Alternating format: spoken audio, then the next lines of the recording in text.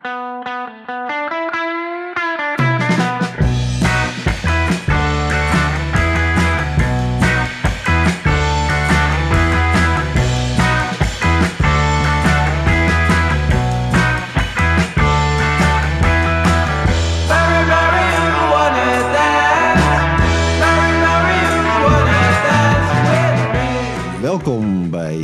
Tea met Dirk en Rens, een podcast over cannabis en alles wat met deze wonderlijke en wonderbaarlijke plant te maken heeft. Mijn naam is Dirk Bergman. En mijn naam is Rens Hoppenbrouwers. We zenden vandaag uit vanuit eh, een van onze favoriete steden eh, ter wereld. Dit is de eerste van een kleine serie eh, Barcelona specials. We zijn weer afgezakt deze keer per auto. Met z'n tweeën, mijn charmante co-host Rens en ikzelf. Eh, per auto naar Barcelona om hier de Spannenbisweek eh door te brengen. En een aantal afleveringen op te nemen met speciale gasten eh, uit eh, allerlei eh, windstreken. En vandaag hebben we niemand minder in deze studio The one and only. de one and only Lume van Loom Extracts. Welkom in de Haiti podcast. Een goedemorgen. Goedemorgen, inderdaad, want we, zijn, eh, we werken hier keihard. We, zijn er vroeg bij. We zijn er eh, vroeg bij. Het is nog geen eh 11 uur. De, de wake and bake sessie zit er eigenlijk al op. We zijn vroeg begonnen vandaag. En nou ja, we gaan praten in deze aflevering natuurlijk met, met, met Loom over ja, extracties, over planten, over eh, de toekomst van eh, de cannabisindustrie. Over hoe het is om eh, als niet-Spanjaard in Spanje te wonen en in de cannabisindustrie actief te zijn. Een hoop onderwerpen te bespreken. Spannend Spannend is uiteraard, want dat is toch in ieder geval de aanleiding, zo niet de reden dat wij hier met z'n allen bij elkaar zijn. We hebben een hoop vrienden alweer gezien afgelopen twee dagen. Ja. Gisteren een fijne sessie hier in het appartement. Dus wij zitten er eh, helemaal in en eh, wij hopen dat eh, iedereen die dit aan het luisteren is ook iets lekkers te roken heeft, zoals wij hier in overvloed op tafel hebben liggen. Ja, het is draai joint en, en wij gaan ook ons jointje draaien of die is al gedraaid. En we beginnen met onze, toch? Ja, want we zullen zo even van tevoren vertellen. Omdat het een special is, zullen we niet alle rubrieken behandelen. Maar we vinden het altijd leuk om toch even te weten wat we aan het roken, of laten weten wat we aan het roken zijn. En omdat we natuurlijk een fantastische kweker in ons midden hebben, willen we zeker even vragen wat ook zijn kweektip is op het einde. Dus het High Tea podcast kweekhoekje houden we er toch in. Ook Ja. al is dit een Die vinden, Barcelona die vinden we toch leuk. Maar we beginnen nu met wat zit er in je joint vandaag?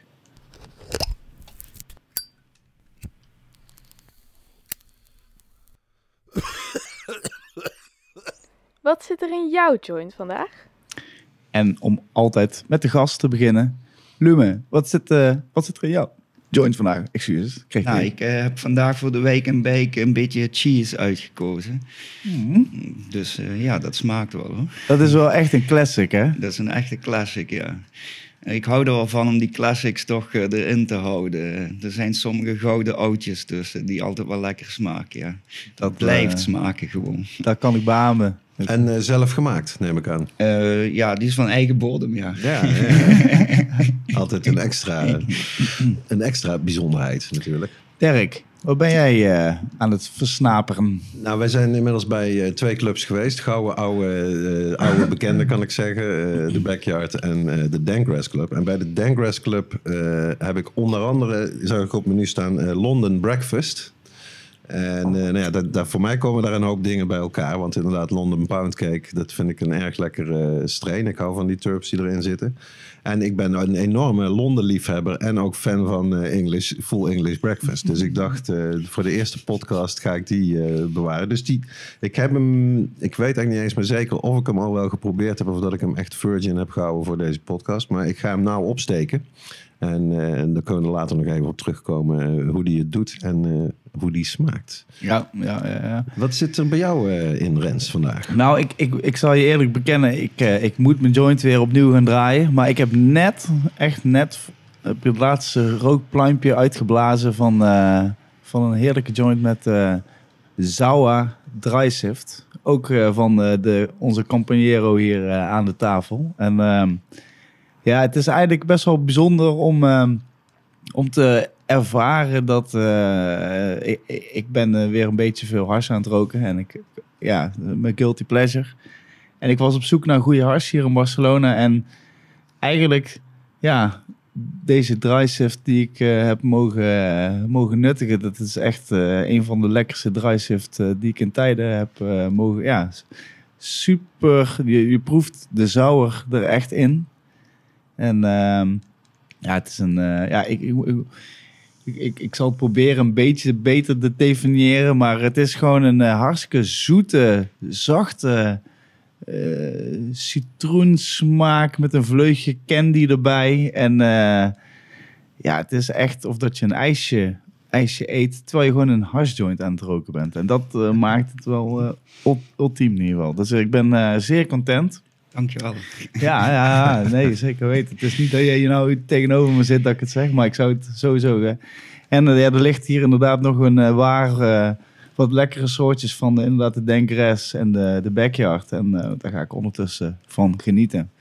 Dus ook voor, inderdaad voor de luisteraars. Of wat zei Nou je? ik, ik pak hier even deze, een, een, een space baggy op die eh, bij de backyard vandaan komt. Eh, Skittles gekruist met Cushmans. En dat moet ik zeggen, ik, ik ben nou die, die London Breakfast, die is best eh, heel prima. Ik word daar best vrolijk van. Maar eh, tot nu toe is toch die Skittles uh, Cushmans is wel het bijzonderste wat ik hier tot nu toe heb gerookt. Maar we zitten op vrijdag, dus we hebben nog wat dagen te gaan. is nog maar één joint. Ja, ja want goedkoop is het niet, maar lekker is het wel. Dan blijf ik er vanaf. Dan blijf ik er vanaf.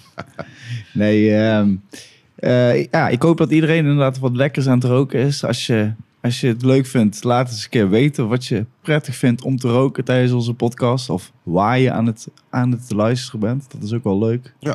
Daar ben ik wel benieuwd naar. In de auto. Oh, oh, misschien dan zonder joint. Dat is misschien ook wel netjes. Maar of lekker in Als de tuin. bijrijder misschien. Ja, Ja. onder het zonnetje. Wij, wij, wij gingen weg met sneeuw. Eh, dat was uniek de jaar. dinsdagmiddag, we reden aan. eh, we hebben overnacht in Frankrijk. En, eh, maar eh, ik vreesde even voor een hele pittige reis. Ja. In de Ardennen nabij Durbuy eh, hadden we echt gewoon een sneeuwstorm. En was het ook eh, bijna stapvoets rijden even.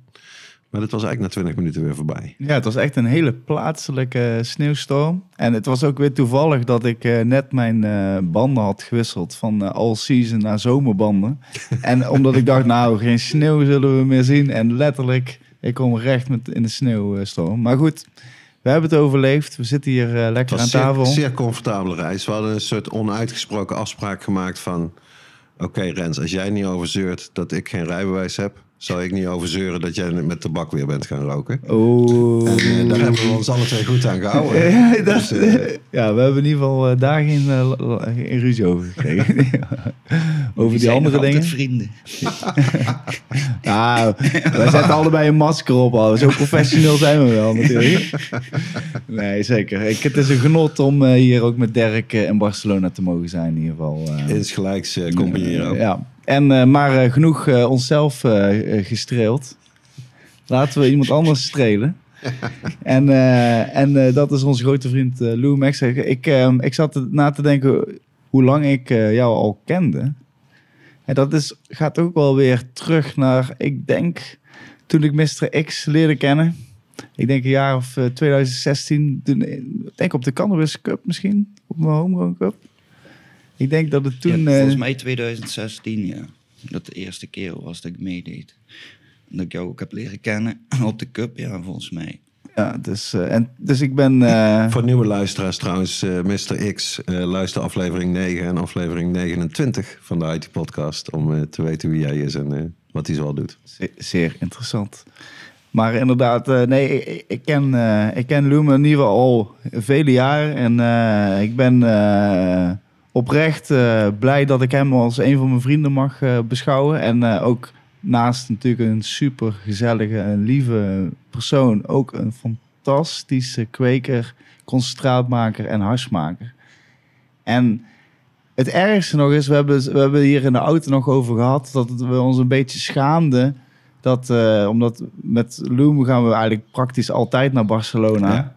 En omdat hij altijd eigenlijk in ons midden is, kijk je er soms helemaal overheen. Je, Als je denkt van, Sometimes it's standing right in front of you. ja, met welke. En ja, dus we schamen een beetje dat we nu pas doen. Maar daarom zitten we graag met Loom Extract. En willen we eens eh, weten wie die is, wat die is, wat hij doet. En, eh, en ja, graag eh, laten we bij het begin beginnen. Hoe en waar en wat voor, als je het globaal kan beschouwen, wat voor, hoe ben je opgegroeid en wat was je eerste ervaring Waar met de liggen heilige jouw plant? roots, zeg maar? Nou, mijn roots liggen eigenlijk bij de paddenstoeltjes. ik heb 13 jaar lang eh, in Maastricht gewerkt voor een groothandel van paddenstoelen. En daar, ben, daar zitten eigenlijk mijn roots. Maar met de paddenstoelen ben ik ook beginnen te blauwen. En na 13 jaar lang paddenstoeltjes verkopen, eh, kwam ik in Amsterdam voor de eerste keer OG Koes tegen. En dat rookte ik en dan was ik meteen verkocht. En toen twee of drie maanden daarna wel nog altijd die OG Koes op de lijst stond, maar dat dus weer heel andere wiet was. Toen ben ik naar mijn baas toe gegaan heb ik gezegd, ja, eh, ik ga toch stoppen met werken, want ik wil mijn eigen wiet gaan kweken. Want ja, die OG Koes, eh, dat heeft bij mij iets wakker gemaakt en dat wil ik zelf gaan kweken. Want blijkbaar in de coffeeshops is dat toch hit en miss. En is dat één keer goed en de andere keer niet.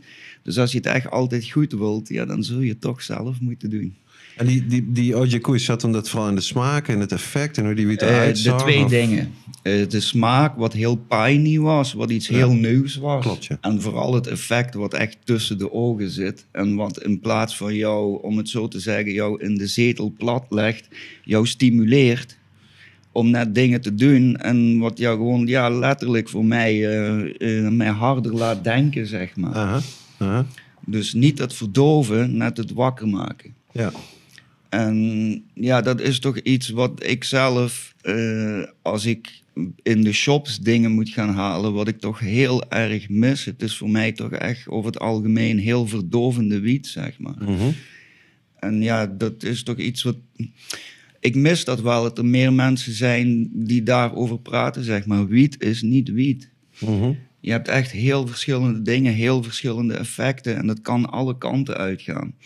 En dus ik ben beginnen te kweken omdat ik op zoek was naar die wiet wat mij stimuleerde en wat mij hielp om anders over dingen na te denken. Want hoe lastig was het eh, vanaf het moment dat je dat had verzonnen om ook daadwerkelijk aan die, in ieder geval een plant te komen die daar heel dichtbij zat?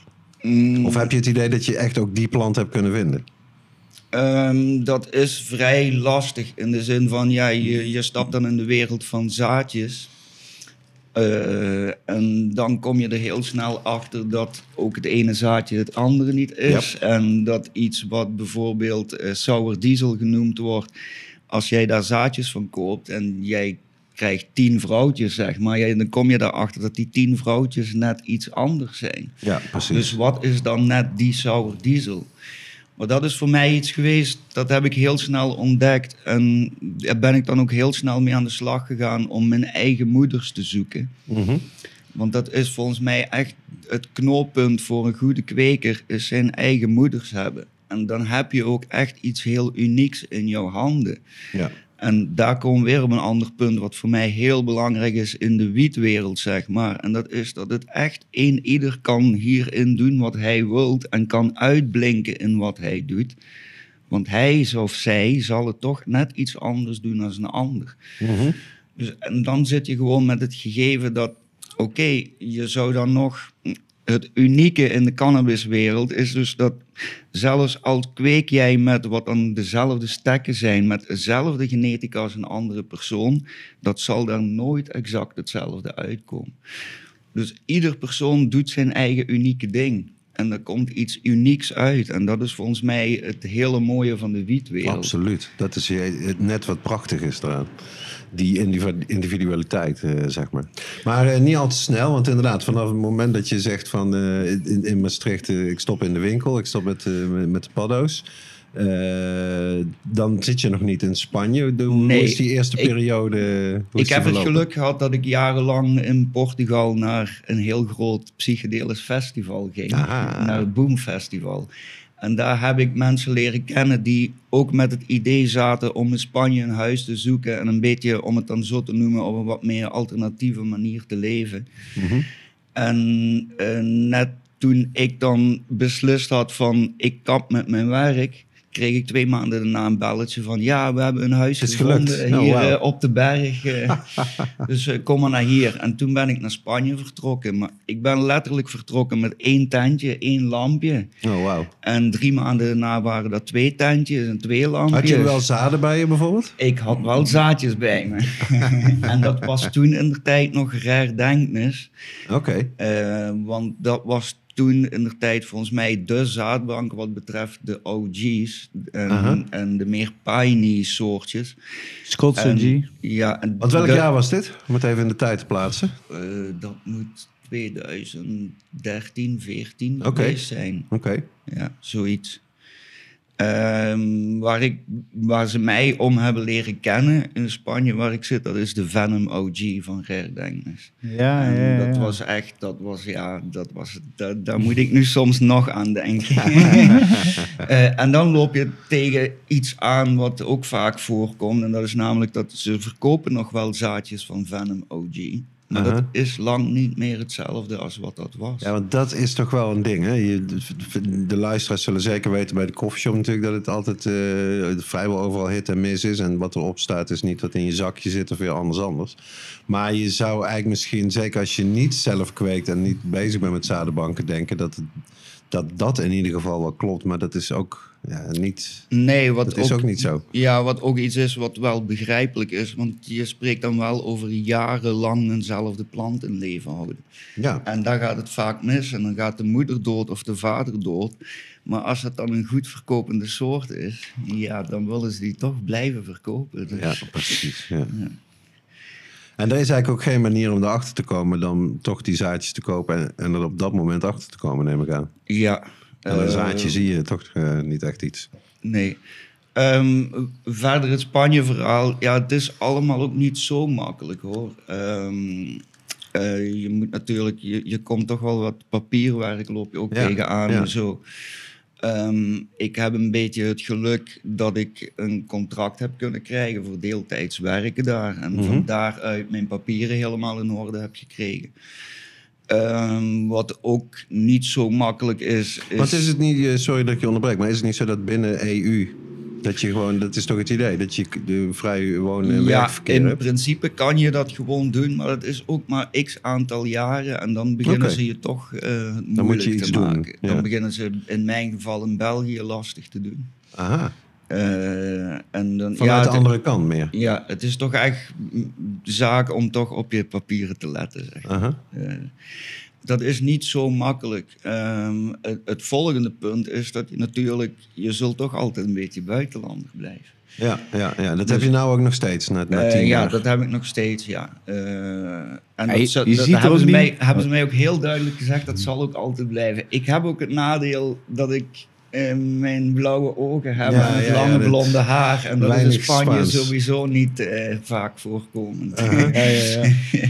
Nou ja, terwijl volgens mij is jouw Spaans uitstekend. In ieder geval een stuk beter dan wat Nou ja, ik, zelf ik kan uitkramen. maar dat maakt dan ook niet uit. Ik klink wellicht gelijk een Marokkaan wat Nederlands praat, voor een Spanjaard. maar goed, eh, iedereen begrijpt me en ik, eh, ik kom vooruit, ja. Ja, ja. ja. Ehm, dat is ook een van de voordelen van te zitten waar ik zit in Spanje, want daar spreekt ook niemand Engels. Dus je moet wel. Zo. Je moet echt wel. Ja. Eh, want Nederlands spreken ze daar namelijk ook niet echt.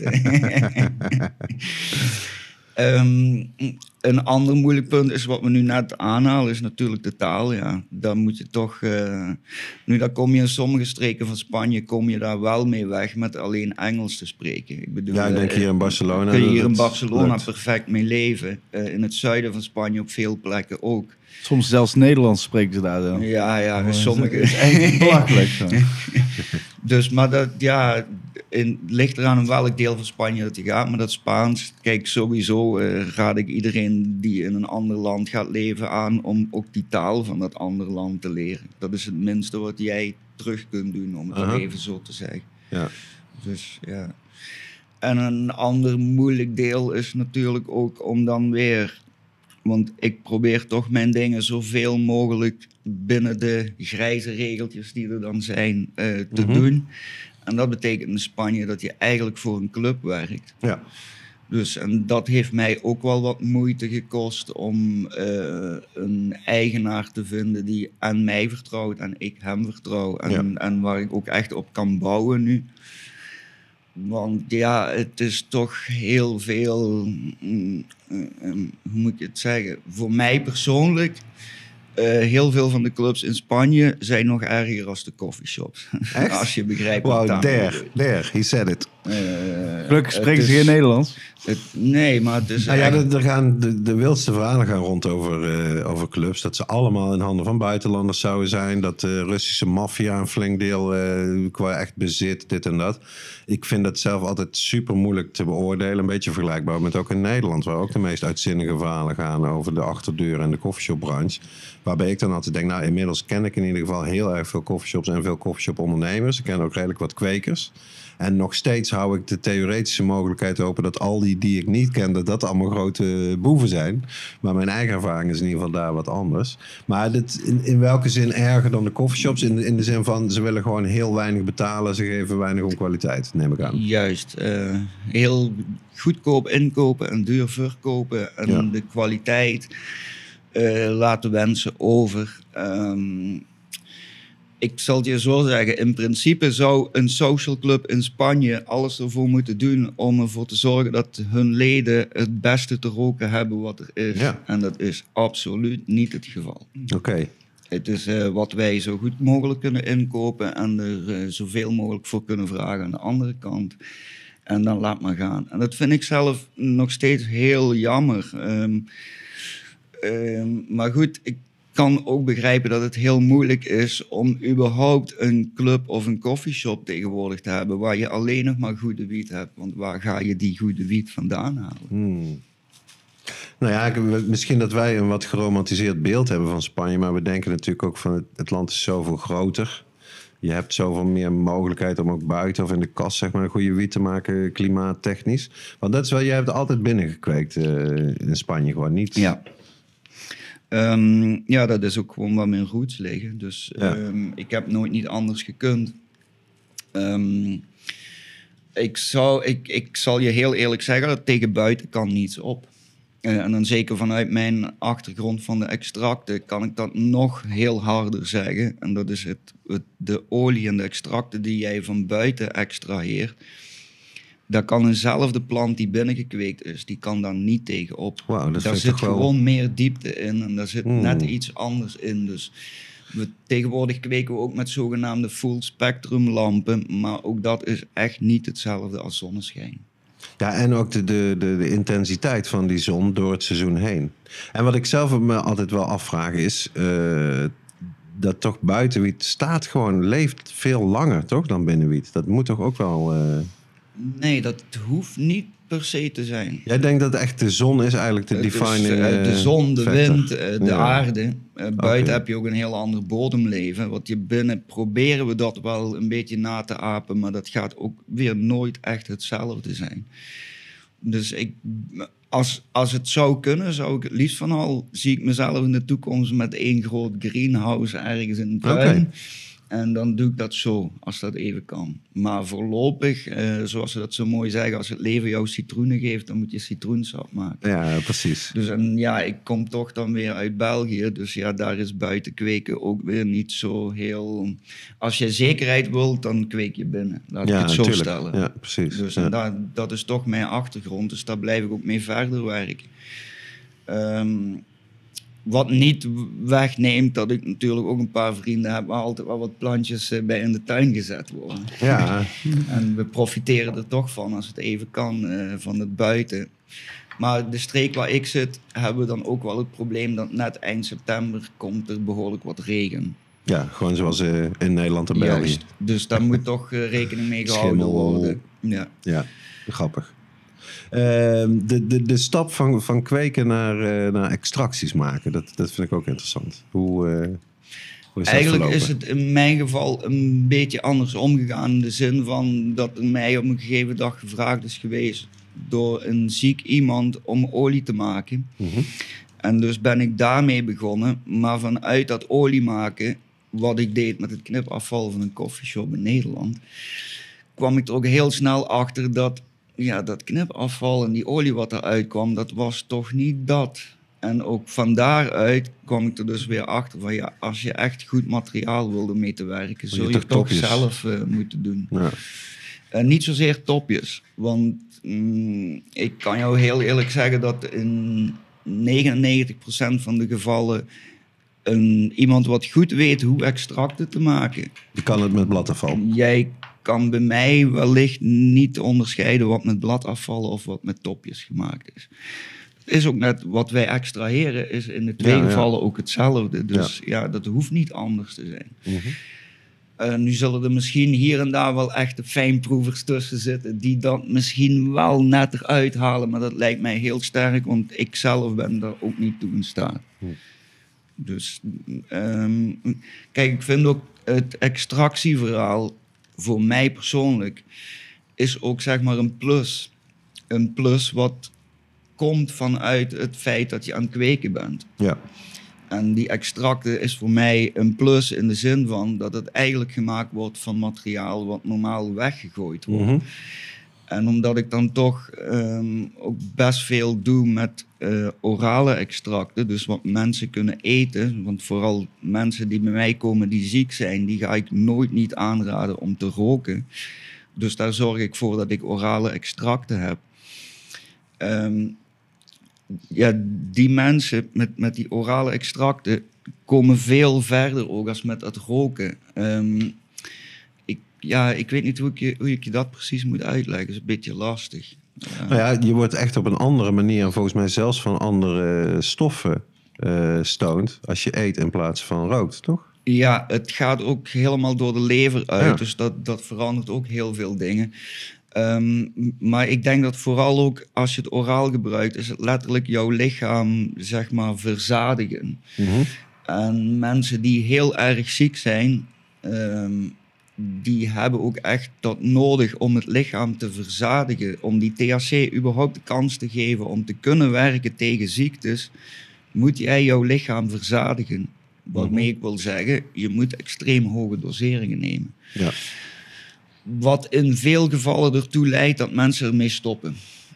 Eh, mensen die in hun leven ervoor geblauwd hebben, die vinden het meestal geweldig. En die zijn in staat om een zogenaamde behandeling door te zetten. Mhm. Mensen die niet blauwen en die dan ook nog eens op een vrij late leeftijd eh, hierom komen vragen, daar heb ik de ervaring in dat die heel vaak na een keer of twee, drie proberen, ehm, heel vaak krijgen ze er schrik voor. Omdat het toch een heel diepgaand en zeker oraal is het echt meer psychedelisch als Mhm. roken. Dus het is zeg maar een, een mini-trip. Ja. En er zijn niet, blijkbaar zijn er niet heel veel mensen die daar heel goed mee weten om te gaan. Wat voor mij heel vreemd blijft. Want dat zijn dezelfde mensen die wellicht op dat moment, eh, weet ik veel wat, voor zware medicijnen aan het slikken zijn. ja, natuurlijk. Ja. En daar blijkbaar zijn ze zich daar dan niet van bewust. Aha. Eh, dat blijft moeilijk. Eh, eh, ik, ik heb al heel vaak lachend gezegd, ik moet mij maar eens zo'n witte jas halen waar Bayer of Pfizer Ja. op staat. Nou, zelfs alleen al maar die witte jas. Eh, Dat en is, dan, dan nemen de mensen misschien wat makkelijker aan van wat ik hun aan het uitleggen ben. Is absoluut zo. over te brengen. Dat is het verhaal van James Burton, die vroeger in Hawaii shirts, zeg maar, zijn verhaal vertelde toen hij net in Nederland was. En ik weet niet of hij van iemand die tip kreeg of dat hij dat zelf had verzonnen. Toen ging hij exact hetzelfde verhaal vertellen met zo'n witte jas aan, waar dan Stichting Institute of Medical Marijuana op stond. En de, de reacties waren totaal anders als hij dan bij een zaaldokters of zo, Rotary of zo eh, stond. De, ze hingen aan zijn lippen met die witte jas. Ja. Om nog terug te komen op dat kweker-extract, Ja. extractorverhaal. Eh, voor mij is het ook gewoon, vooral extracties. mm, ik vind het heel leuk dat ze het in het Engels extraction artists noemen. Mhm. Want dat is het ook gewoon. Het is echt een kunst. Ehm, ik, ja, ik zelf nog steeds bij iedere extractie die ik doe, eh, sta ik ervan te kijken hoe dat er dan net uitkomt. Want de ene keer komt het er wat eh, vloeibaarder uit, de andere Want keer... laten we even dan stap voor stap eh, dat proces onder de loep nemen. Jij, hoe, hoe begin je en wat is je eerste stap? Ehm, de eerste stap en het allerbelangrijkste bij extractie is, zoals ze dat zo mooi noemen, gold in, gold out. Ja.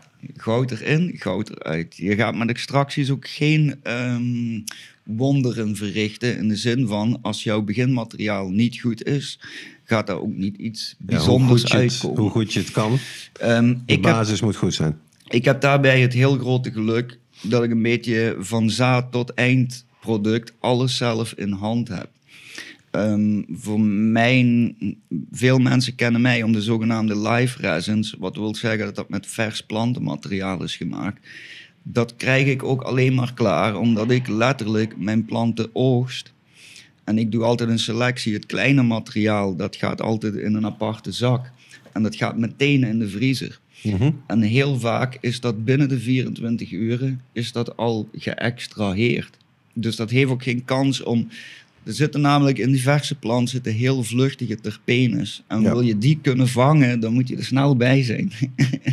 En dat zit hem in het snel invriezen of het snel ver- ook verwerken nadat je het nee, vooral in het snel invriezen. Eén keer als het ingevroren is, kun je daar ook best wat tijd over laten gaan. Oké. Nu, ik verkies om het toch zo snel mogelijk te doen.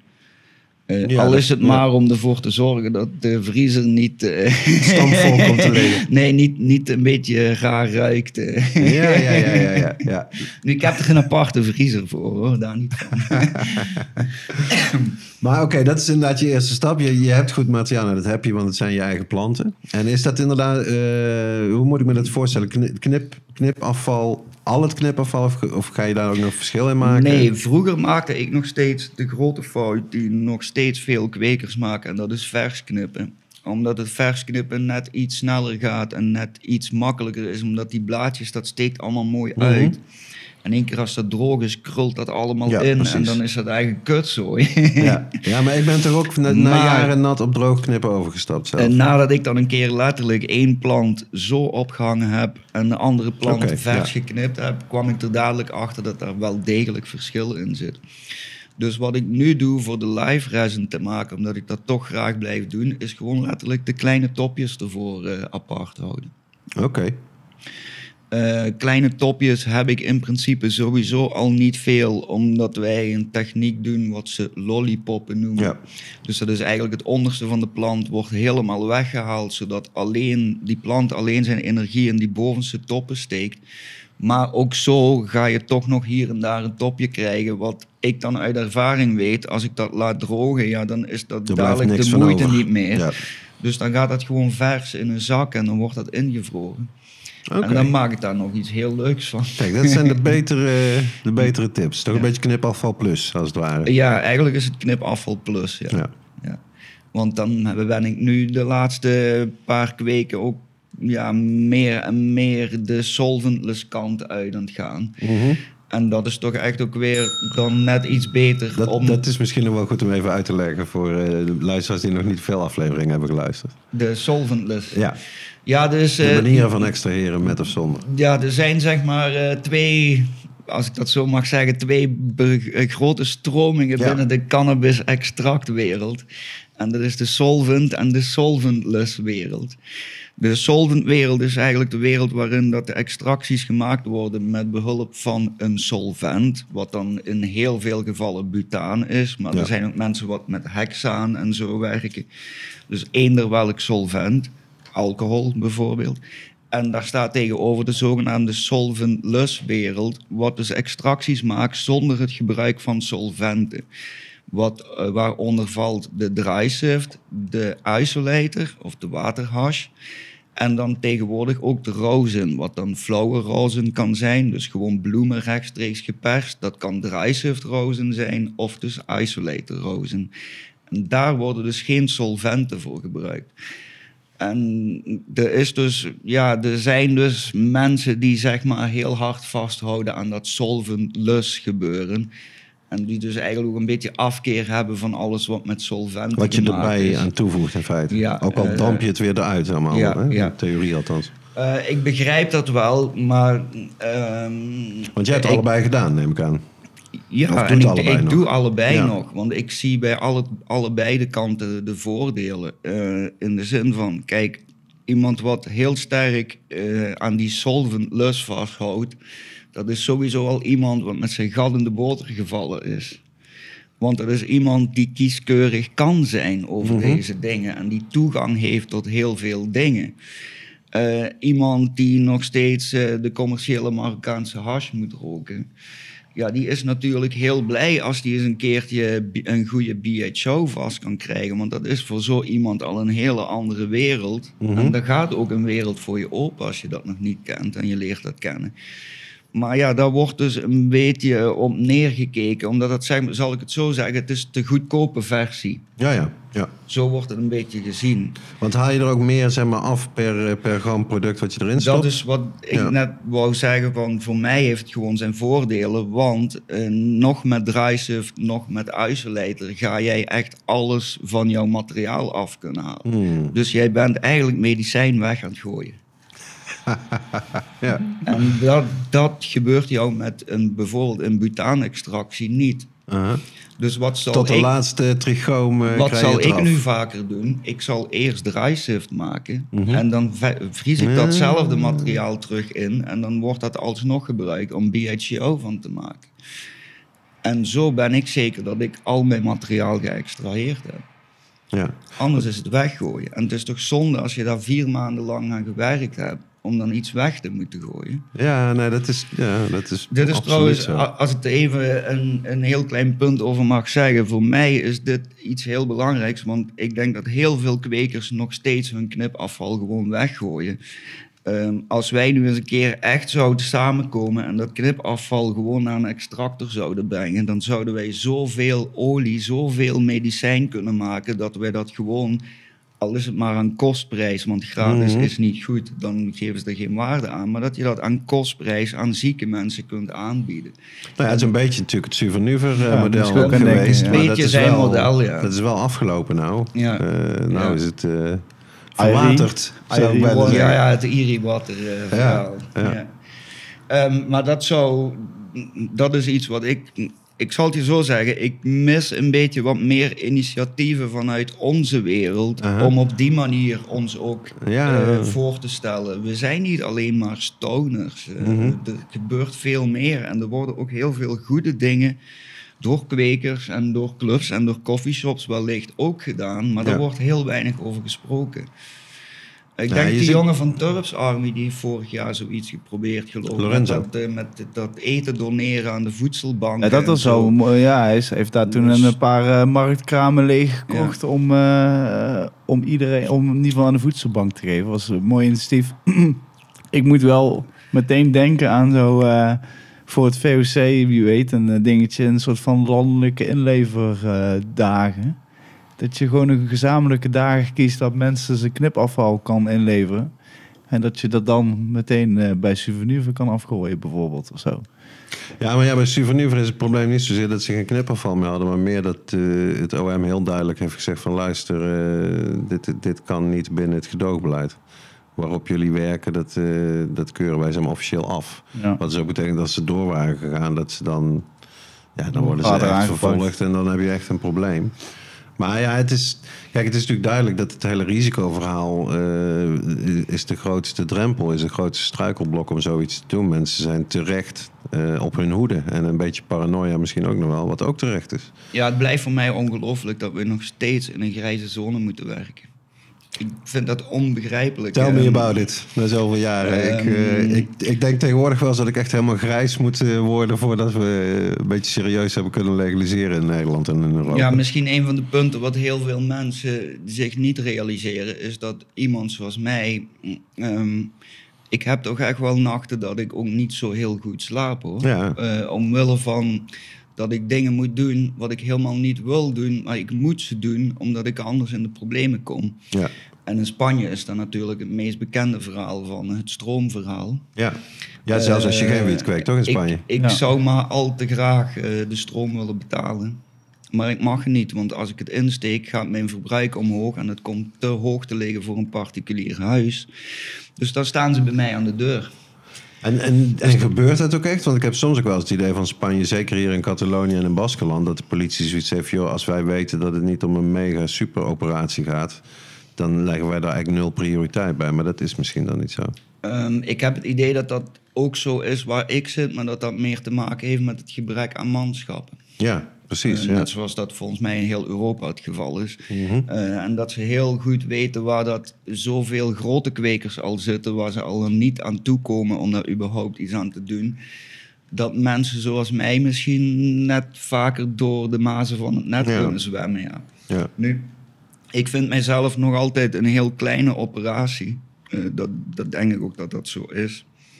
Ehm, maar ja, ik, hoe moet je dat zeggen? Mm, toch denk ik dat, dat iemand zoals mij net zwaardere last op zijn schouders heeft als die grote mannen. Want ja, ik denk dat die grote mannen, die zijn er toch niet echt met hart en ziel mee bezig. Zeg maar. Mhm, mhm. Voor mij is dit op de eerste plaats een passie. Ehm, ik ga letterlijk slapen en ik sta op met. Ehm, heb ik de ontvochtiger wel juist gezet en dat soort dingen. Echt, dat is echt. de- Mijn vriendin die zegt soms van eh, ja, soms denk ik wel dat je getrouwd bent met je planten. Ehm, maar ja, dat, ik zelf vind dat helemaal niet raar. Ik vind dat net, ja, dat is toch normaal dat je daar dan ook op zo'n manier mee omgaat en dat, dat, ja, dat je daar helemaal zo induikt. Aha. Ehm, ik vind het zelf jammer dat ik niet naar meer mensen toe kan gaan die er zoals mij mee bezig zijn. Mhm. en, en dat ik dus niet. eh, ehm, als er vrienden bij mij op bezoek komen, die staan er altijd van te kijken dat ik tien potten op tafel zet. En die tien potten zijn, elke pot is een wereld op zich. Aha. Ga jij vandaag de dag naar een koffieshop of een club en ze zetten tien potten voor je neer, ja, dan verzeker ik jou dat vijf van de tien ruiken hetzelfde. Ja, ja, veel lijkt op elkaar. Eh, en het lijkt allemaal op elkaar. En ja, er worden allemaal mooie naampjes Ja. opgeplakt. Maar Jos mag weten wat het echt is. Dus dat is toch een beetje jammer allemaal. eh. Kijk, dat is misschien net het gebrek aan regelgeving wat eh, hiervoor zorgt. Nou, ik heb daar veel over nagedacht deze dagen dat we weer in Barcelona zijn. Je hebt er lang over kunnen nadenken. Nou ja, dat, ja onderweg hebben we het ook over gehad. Dat eh, de regelgeving, eh, of het gebrek eigenlijk moet ik zeggen aan regelgeving hier in Spanje, die pakt misschien voor de consument toch beter uit als waar we nou bijvoorbeeld in Nederland, als je even de wietproef dan als voorbeeld neemt. Eh, waar we naartoe gaan. Ik bedoel, we hebben hier inderdaad dit vrolijke, kleurige space baggy eh, met een mooie naam. Nou ja, dat gaat in Nederland eh, echt niet mogen met de wiet-experiment. Het is allemaal gereguleerd. Zelfs, je mag één lettertype maar gebruiken op je zakje. Het mag niet in aantrekkelijke kleuren. Dit niet, mag niet, dat mag niet. En dan kan je op een gegeven moment afvragen... Tuurlijk, het is 100% eh, voordelig als je 100% schone wiet hebt. Dat is een enorme step forward. Maar de, de vrijheid die hier nog steeds toch is in de clubs om inderdaad heel veel aan te bieden en om in ieder geval binnen de club wel aan een soort marketing te doen, weet je wel? Dat, dat begin ik me toch wel af te vragen. Wanneer, in welk systeem zou je nou als, als eh, consument beter af zijn? Maar ja, als ik jou hoor over de clubs en wat daar allemaal gebeurt. Hoe, hoe kijk jij daar tegenaan? Beter een, een, een grijze zone met de nadelen daarvan? Of een, een super dicht getimmerd, gereguleerde omgeving voor wiet? Ehm, dat blijft een lastige. Ik zal het je zo zeggen, het zou allemaal veel makkelijker kunnen. En ik sta ervan te kijken wat er allemaal rondom... Zal ik het zo zeggen, laten we niet vergeten dat dit in het begin een heilige plant is. Ja, En kijk wat we er allemaal mee aan het doen zijn. ja echt. Eh, en zet dan een stapje achteruit en kijk dan eens goed. En vraag je dan nogmaals af, ja, hoe zijn we dit nu eigenlijk allemaal aan het behandelen? Eh, ik heb het vroeger vaker gezegd over eh, de ayahuasca-rituelen. Mhm. Het zijn echt gewoon de pims van de planten. Mhm. Dat is wat we aan het zien zijn. En ja, wat blijft er dan uiteindelijk over? Het mooie zakje of wat er in het mooie zakje zit? Mhm. Waar gaat het nu nog over? En dat vind ik zelf een beetje... ehm, ja, we zijn het allemaal veel te ingewikkeld aan het maken, man. Ja. Het is allemaal veel te ingewikkeld. Het had zo makkelijk kunnen zijn. Want ja, nogmaals, behandel het als een tomaat. En dan, ja, dan krijg je, krijg je waarschijnlijk ook zotten die gewoon hun eigen tomaten willen kweken. Ja, laat doen. Mhm. Eh, in mijn ideale wereld is eh, op iedere berg eh, aan, eh, buiten aan het dorp zit er een zot zoals mij, Aha. die het speciale soortje van het dorp maakt. En eh, ja, dan wordt het een hele leuke wereld, want dan heeft ieder dorp zijn speciale dingetje. En dan kan ik naar het volgende dorp gaan en dan kunnen we daar lekker Ja. delen en eh, lekker samen zijn. Meer- Dat is toch waar het over gaat, over samen zijn. Daarom noemt het ook een joint, omdat het gedeeld wordt. Ja, daar zijn ook weer verschillende theorieën over. Hè? Ja, maar De, laat- tabaks, de tabaksgebruiker zal zeggen, nee, want je joint de wiet met de tabak. En eh, dat is een joint. Maar ik ben ook meer van, van jouw betekenis, moet ik zeggen.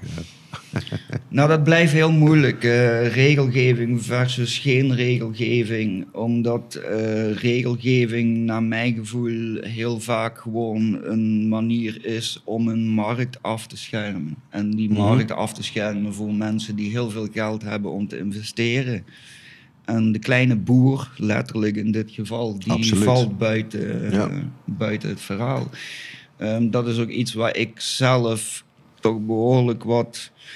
Ik zal het je zo zeggen, ik kijk, ik kijk het niet echt heel vrolijk aan allemaal wat het legaliseerverhaal vertreft, betreft, Mhm. ook in Spanje. Omdat het voor mij heel duidelijk is dat de inkomsten die daaruit gaan komen, en daar gaan inkomsten uitkomen, die gaan gebruikt worden om mensen als mij het leven zuur te maken. Mhm. Want dan ben ik nog een grotere doorn in het oog. ja. Jij bent het percentage zwarte markt tussen aanleidingstekens, illegale markt, wat ze zo klein mogelijk eh, willen maken. Ja. Maar, maar misschien doen ze in Spanje wel micro-license uitgeven. Ja. Nou ja, tot En, nu toe eh, lukt het ze niet om te legaliseren, toch? Ik geloof dat... eh, Oké, we hebben de nieuwsrubriek overgeslagen. Maar het nieuws is wel dat het weer weggestemd is in, in Eh, het Spanje. is inderdaad weer uitgesteld. Ehm, het is weer uitgesteld. Laten we niet vergeten dat er langs de andere kant wel al jarenlang vergunningen gegeven worden Ja. voor bedrijven om te kweken in Spanje, wat allemaal voor de uitvoer is. Dus ook daar weer, wanneer ze spreken over legaliseren, ieder land zegt meteen van ja, maar we kunnen niet met de internationale verdragen, maar als we er even wat geld aan kunnen verdienen, dan eh, doen we wel even lekker uitvoer. Dat gaat over verschillende grenzen en dan mag het wel weer allemaal. Echt, hè? Ja, Eh, dus, je, je eh, krijgt het mij niet uitgelegd. Argentinië, precies hetzelfde verhaal. Dat is deze week ook in het nieuwsje. Ze kunnen gaan exporteren, maar als je zelf in Argentinië woont... veel succes om medicinale cannabis op een normale manier te kunnen kopen. Ik, ik wil nog eh, misschien even naar een heel ander onderwerp, maar ik vind het, eh, wil ik zeker eh, aan, aan Loen vragen. Ik denk eigenlijk al vanaf het begin dat ik jou kende, was jij altijd naast denk, denknis, altijd bezig met een andere genetica. Hoe noem je dat? Eh, ik wil het heel, even heel decadent zeggen, maar in ieder geval een zadenbank. Nu ja, ik ben na herdenknis ben ik eh, vrij snel overgestapt geweest eh, op Karma Genetics. En ik denk dat de meeste mensen mij nog steeds kennen voor mijn headbanger extracten. Exact, Ja, daar zeker. wilde ik. Ehm, en Maar- ik, maar- als mensen tegenwoordig aan mij vragen van ja, ik zie door de boom het bos niet meer, eh, raad mij dan eens wat zaadjes aan. eh without a doubt, alles waar dat sour diesel van Karma Genetics in zit, eh, daar ga jij iets leuks in vinden. Maar om bij het begin te beginnen, hoe, hoe ben je bij, het, bij Karma Genetics gekomen en hoe eh, is jouw eh, relatie met hem eh, ontstaan? Want ja, je, je, je- dus, ik, ik ken jou echt als de karma kweker, om het zo maar te zeggen. Ja, Oké, ehm, ook. Moet je even, moet je even, even verwerken. De eerste keer dat ik naar Spannenbus kwam, toen was eh, een van de grootste en meest bekende clubs nog steeds eh, de Plug. Ja. En in de Plug verkochten ze toen eigenlijk best veel dingen van Karma allemaal. Daar hadden ze toen drie verschillende fenotypes van de headbanger. Nice, Eh, En toen ben ik terug naar huis gegaan en dat is het eerste wat ik gedaan heb. Is een zakje headbanger zaadjes kopen en ontkiemen. En dan ben ik ook, pardon, die moeder wat ik daarin gevonden heb, die heb ik zeven jaar lang heb ik die bijgehouden. Oh, wauw. En ja, daar, iedereen die dat geprobeerd heeft, die, die zei ook meteen van ja, dat is echt een ander niveau. Dat was zo Ehm, goed. Ja. Na de headbanger van Karma eh, is hij dan, weet ik niet meer net het jaar, maar is hij dan met de Sour Diesel BX2 uitgekomen. En daar ben ik dan ook meteen mee aan de slag gegaan. Ja, dat is echt, eh, dat is voor mij nog steeds eh, de wiet gewoon. Oké. Waarom? Eh, omdat dat een heel ander effect geeft. Als, dit is, die sour diesel is echt puur stimuleren tussen de ogen, zeg maar, voor mij. En dat is echt wat ik zoek. Het is mild psychedelisch, zeg maar. Eh, wat dat net is, wat daarvoor verantwoordelijk is, weet ik niet. Het feit is dat dat 11, 12 weken bloeiplanten zijn. Mhm.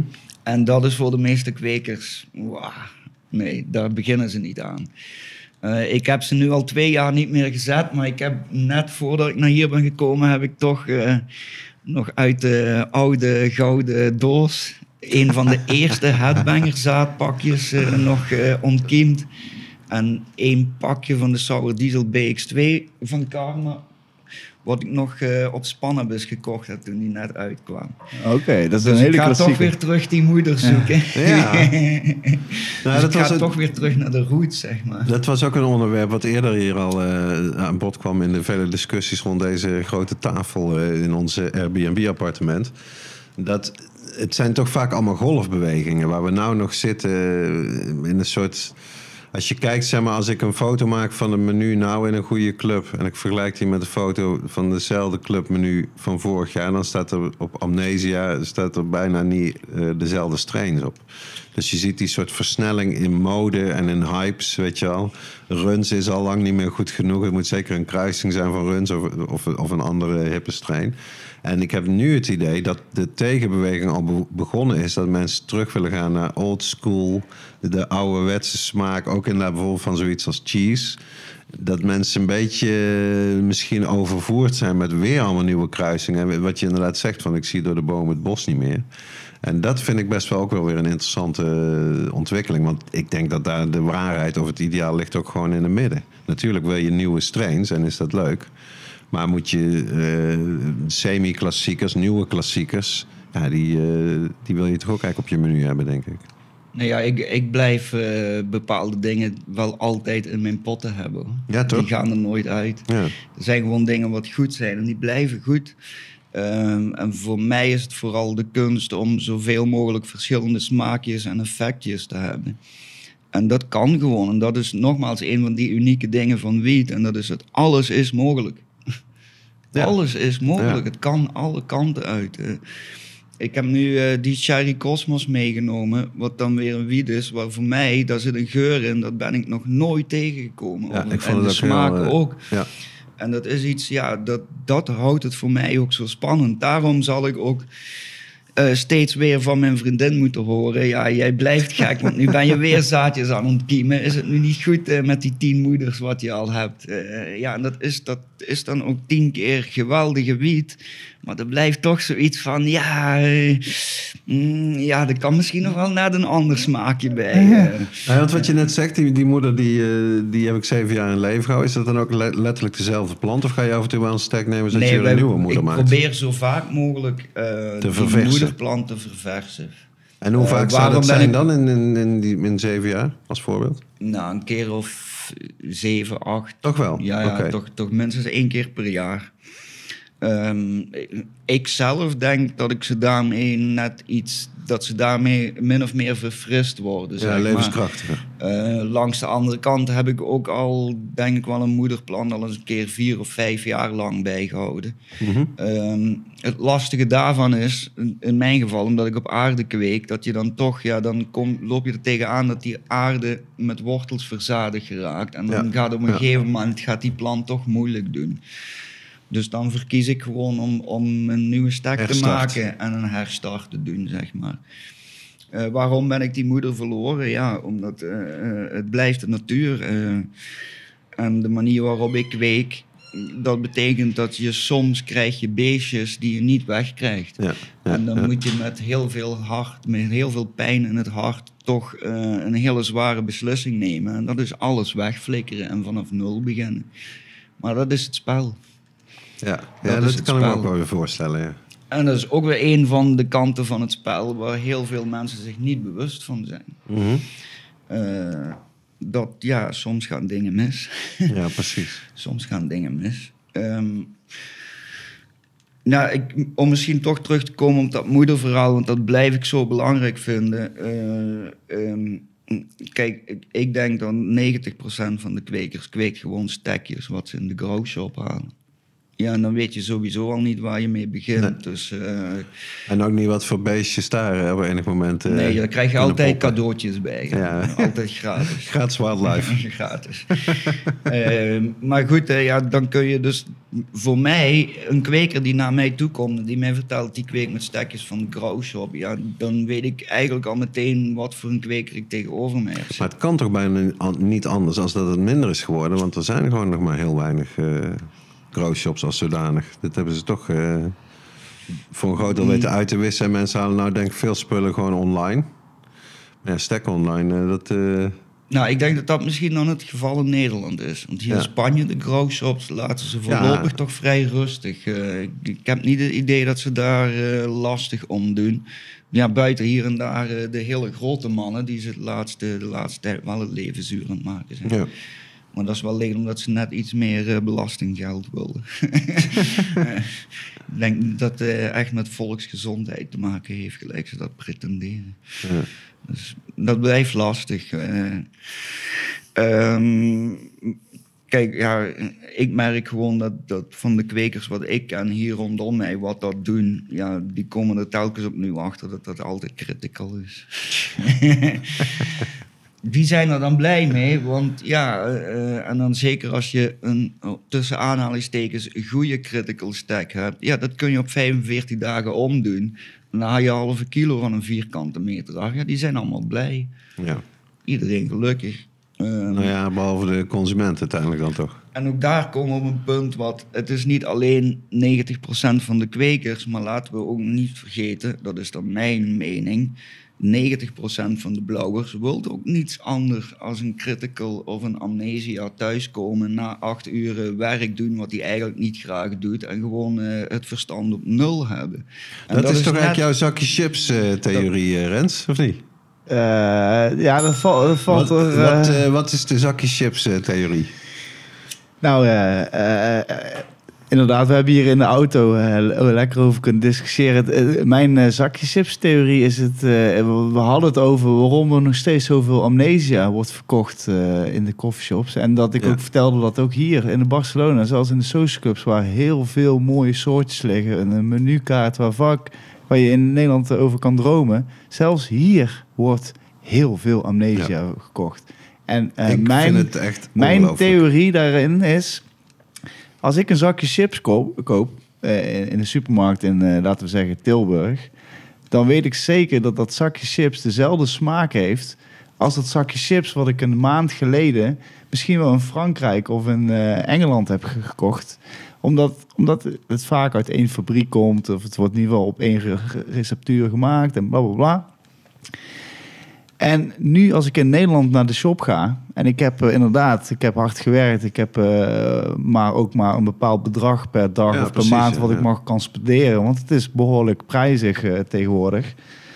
Dan is het vaak lastig om te gaan experimenteren, om een keer een nieuw soortje. Want inderdaad, wat, wat Loem zegt, je wordt gewoon heel vaak teleurgesteld. En dan word je op een gegeven moment, en dat is een, echt een beetje denk de onderliggende gedachte, dat je denkt van fuck it, ik wil gewoon stoned worden. Ik, ik wil die smaak die ik weet wat ik kan verwachten. Want amnesia is zeer sterk qua smaak. Echt, je vindt ze echt bijna in elke shop. En bijna alle, alle smaken is redelijk hetzelfde. Dus eh, dat, dat is goed, goed gelukt.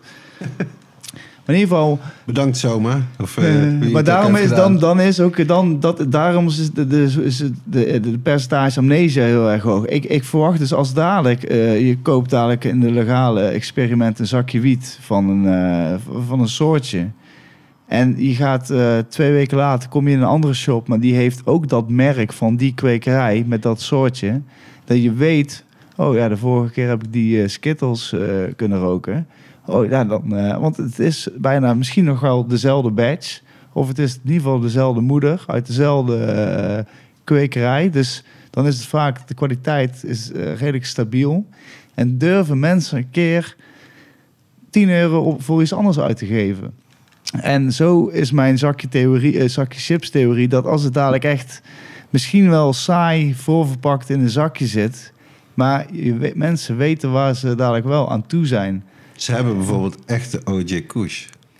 Precies, en dan zal denk ik de verschuiving van amnesia naar andere soortjes eh, gaan.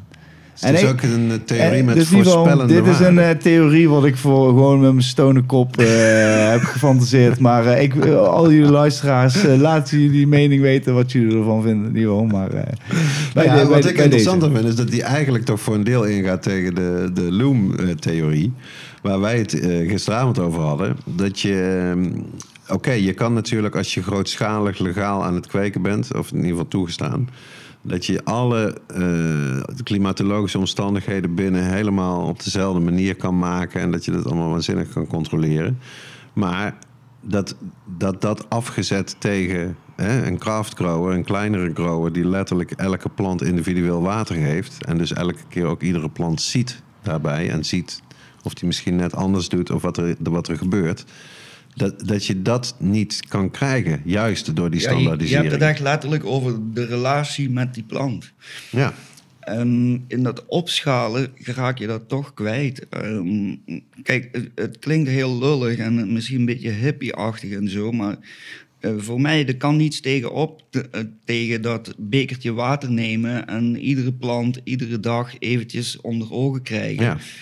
En eh, ja, in mijn geval zelfs eh, half ermee spreken en mee babbelen. En ik zet altijd een muziekje op voor ze. En, eh, dus ja, dat is toch iets heel anders dan wanneer jij dan maar een druppelaarsysteem hebt. Doordat je één keer om de twee weken jouw tonnetjes eens moet afvullen, Ja, zeg exact maar. samengesteld. En ja, voordat je het weet, heb je god weet wat in je kweekruimte zitten, maar je hebt het helemaal niet door. Ehm, eh, het is ja, wel leuk dat je craft cannabis eh, aanhaalt, want dat vind ik wel een heel belangrijke. Ehm, en in, in, in mijn ideale wereld bestaan die dingen ook echt langs elkaar. Dus Ja. ja, er moet gewoon supermarktgebied zijn, om het zo te noemen. Maar er moet ook voor de fijnproevers iets zijn. Ehm, Ehm, en dat, dat mis ik toch een beetje, niet alleen in het Nederlandse experiment nu, maar eigenlijk over de hele lijn waar dat er ook maar over legaliseren gesproken wordt, mis ik dat een beetje. Er zijn een paar staten, geloof ik, in de Verenigde Staten waar ze zogenaamde co-ops toelaten. ja. Maar dan nog, om in zo'n co-op te komen, moet je alsnog een behoorlijk grote operatie hebben. Dat, is niet, dat zijn niet tien kleinschalige kwekers, dat zijn tien middelgrote, zo niet grote kwekers, die dan alsnog de kop samensteken. Nou ja, de term microgrow en microgrow license, dat is, geeft aan dat er in ieder geval wel op sommige plekken over na wordt gedacht. Maar dat, ja, ik heb dat zelf ook wel eh, in Nederland, had dat eigenlijk vanaf het begin meegepakt moeten worden. Juist omdat het een experiment is. Dus wat zou je liever doen dan dat je zegt, oké, we hebben hier een kwekerij die heeft 6000 planten staan. En we hebben hier een kwekerij die hebben er 400. Kijk, de overheid... En eh, kijken, hoe zit het dan? Prijstechnisch en eh, kwaliteitstechnisch. Dat zou mooi zijn om te vergelijken, maar dat is er niet echt. Voor de overheid is Niet. het toch belangrijk hoeveel belastingen ze kunnen innen. Niet? Dus eh, hoeveel interessanter is het niet voor een overheid om dadelijk een markt te hebben, om dan nog maar eens over de wijn te hebben, waar dat ze Mhm. inderdaad, eh, eh, laat me iets zeggen, 1 miljoen flessen per week verkopen van 5 euro per fles. Maar daarlangs verkopen ze ook 1000 flessen van Ja. eh, 1000 euro per fles. Ja. Nu, die 1000 euro flessen, die bestaan in de wietwereld niet wanneer jij alleen maar megakwekerijen opzet. Nee. Want die 1000 euro flessen, die komen van die kleine kweker die daar een paar eh wijnstruikjes heeft staan op zijn berg. Precies, ja. en die daar zelf wijn van maakt. Dat zijn die dure flessen. Waar ook dan weer, eh, wat is het, duizend keer meer belasting over betaald wordt. Dus ja, eh, de overheid snijdt zichzelf toch in de vingers met, dat, met, met niet naar die twee markten te willen kijken. Ja. Ook is de bedoeling toch om die zwarte markt eruit te krijgen. Nu, die krijg je er niet uit, want je gaat dadelijk echt die fijnproevers, zoals velen van ons krijgen, die toch hun dingetje gaan zoeken buiten die legale markt, als dat er niet is gewoon. En ja, Ja, helaas, misschien- ik zie het nog steeds niet. Ik, ik zie dat upscalen, ik zie dat niet. Ik, ja, dat kan niet tot eenzelfde product komen. Nogmaals, omdat je gewoon met een hele andere relatie met die plant bezig bent.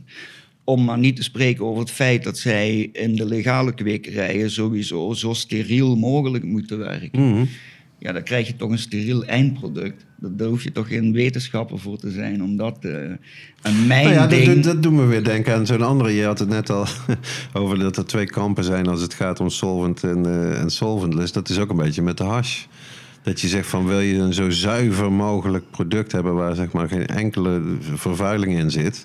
Of wil je eh, traditioneel, hou je heel erg van Marok. Eh, zoals bijvoorbeeld Okama toch wel.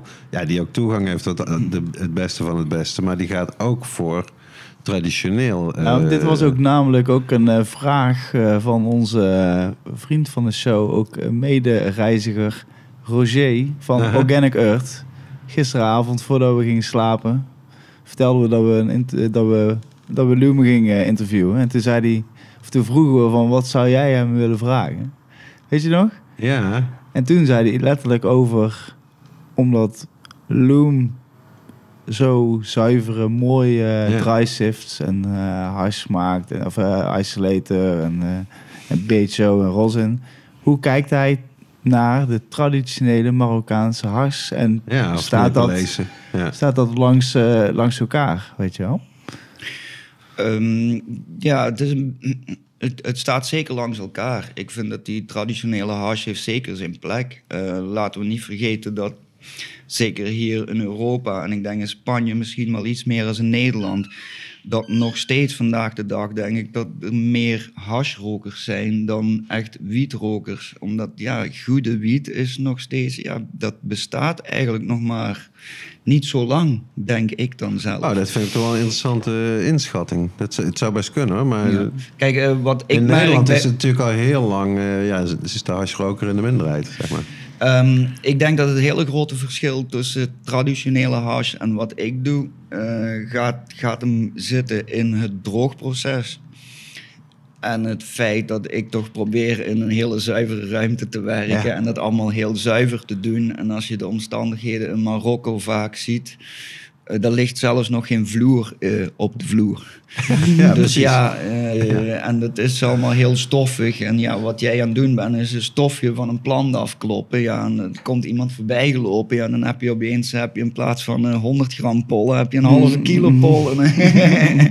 Goed voor de handel. Dus- maar goed, eh, dat blijft zijn plek hebben. Kijk, dat, ehm, ja, dat het feit dat dat je anders... niet dat het uitsterft omdat het Nee, zeg maar onzuiver het feit is. dat het anders gedroogd wordt, want nog steeds in veel gevallen worden de planten daar echt letterlijk in de volle zon gedroogd. Ja.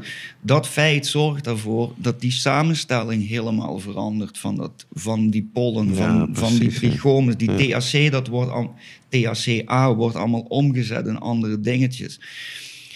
Wat ik merk met de extracten en mensen die dat dan weer wat ziek zijn, wat dat gebruiken, die mensen verkiezen in veel gevallen de orale extracten die gemaakt worden met de traditionele hash.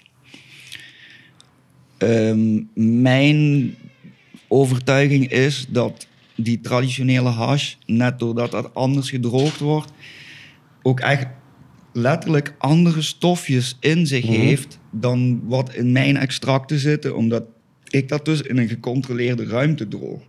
Ja. Daar komt geen zonlicht aan. Dus daardoor, bijvoorbeeld, om je een idee te geven, wanneer ik die orale ook extracten maak, dan moet er met een oven gewerkt worden. Want als jij het extract zo, als het van de plant afkomt, hebt, dan heb jij geen THC, maar dan heb jij THCA in Ja, jouw precies. extract zitten. Dat carbonmolecuul, dat zorgt ervoor dat dat niet opgenomen wordt door jouw lichaam. Dus jij kunt dat opeten en dat doet niets met je. Neem je datzelfde extract en doe jij dat x aantal minuten op x aantal graden in de oven, en dat ligt ook aan het extract enzovoort. Dus En dat is een beetje je- het geheim van de smid, natuurlijk. Denk ik. Nee, kijk, de vuistregel is 90 graden voor een uur. Mhm. En dan is kijken naar jouw extract. Want jij ziet letterlijk de carbon uit jouw extract ontsnappen in de vorm van hele kleine bubbeltjes. Dus het eerste half uur, drie kwartier, als jij kijkt naar jouw extract in de oven, dan zul jij zien dat dat behoorlijk fel bubbelt met hele kleine bubbeltjes. En dan na een half uur, drie kwartier begint dat af te nemen en neemt dat af, neemt dat af. En totdat ik op een gegeven moment zeg van nu is het wel goed. En dan komen er nog maar heel weinig kleine bubbeltjes uit. Dat is het punt waarop eigenlijk het meeste van de THCA in THC is omgezet. Laat ik datzelfde extract nu nog een uur langer staan, dan is al ongeveer 5% van de THC wordt dan omgezet in CBG. Wat Ja. een heel sedatief iets is. Mhm. Dus wanneer mensen mij specifiek komen vragen voor druppeltjes om te slapen, dan laten wij dat vier, vijf uur langer in de oven staan. Ah. En Want dan wordt meer dat heel CBG. sedatief. Ja. Dat is hetzelfde verhaal, denk ik, als wat je dan met die traditionele hash hebt. Omdat daar dan ook in dat droogproces waarschijnlijk toch ook een chemisch proces plaatsvindt. Waardoor dat je eigenlijk weer een breder spectrum krijgt. Een breder spectrum, wat gewoon wil zeggen, er zijn meer dingetjes wat op meer knopjes kunnen duwen. Ja, dus ja. waar meer mensen profijt van kunnen hebben. Ja, dat is wel Ehm, fascinerend. Ja, super. De twee dingen zullen zeker langs elkaar blijven bestaan. Eh, want ja, ik ken ook genoeg mensen die echt diehard eh hashrokers zijn. En ja, die komen dan de laatste paar jaren, wanneer je dan echt eens een keer speciale bloemen hebt, dan roken ze dat wel. Maar die zullen toch teruggaan naar een stukje hash. Ja, want ik heb ook zoiets van, oké, met, met zeg maar meer moderne eh hash en extracties, je proeft, als je smaakt, de smaak van de, van de bloemen komt dan heel mooi eruit. Maar dan denk ik een beetje, ja, dan kan je toch net zo goed die bloemen eh, eh, roken. Dat, dan heb je het maximaal. Maar het, is, het geeft een andere expressie eigenlijk aan die smaken, toch? Eh, het verandert wel iets, ja. ja. Maar voor mij is het zelf, het is vrij moeilijk hoor, om eh, een wietsmaak in een, eh, een hash, zij het een dry sift dan niet de isolator, om echt die smaak van die wiet daarin te behouden. Aha. Eh, ik zelf ben geen grote hashroker. En het moment dat het naar hash proeft, vind ik het niet meer lekker. ja, dat klinkt een Ja, beetje vreemd, maar... eh, en, en dat heeft mij ook jarenlang gekost om nu zoiets als die zauwer hier op tafel te kunnen leggen. Waar dat ik dus wel degelijk... Ja, ik zal het je zo zeggen. Als ik, ik denk dat ik ermee wegkom om er een jointje van te draaien. En niemand te zeggen dat er hash in zit. En dat mensen gaan denken dat er gewoon bloemen in zitten. En dat is de truc. Dat is de truc. En waar denk je dat het, dat het in zit, dat het nou gelukt is met, eh met dit Eh, extract? wederom het zo snel mogelijk en Ja, zo vers zo- ja, mogelijk doen ja. allemaal. En in dit geval heb ik één ding heel sterk veranderd. En dat is het echt tot min 24 graden invriezen. Mhm. En dan is het eigenlijk, eh, gelijk dat ze mooi op Instagram genoemd hebben, less than two second dry sift. Dus ik heb letterlijk mijn, mijn zeef voor mij staan, mijn vriezer langs mij.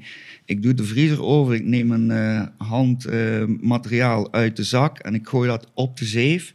En ik neem de zeef en ik doe zo. En ik doe dat hier weer terug in een andere zak. Dus dat ligt hooguit anderhalve seconde op de zeef. En dan gaat het weer terug ervan af. Nu ja, dan spreek je natuurlijk over hele lage percentages wat daar afkomt. Ja, wat, ja. Maar nogmaals, omdat ik dan het geluk heb dat ik ook weet hoe er met butaan dan nog iets moois van te maken, eh, doen we dit als extra op de extra.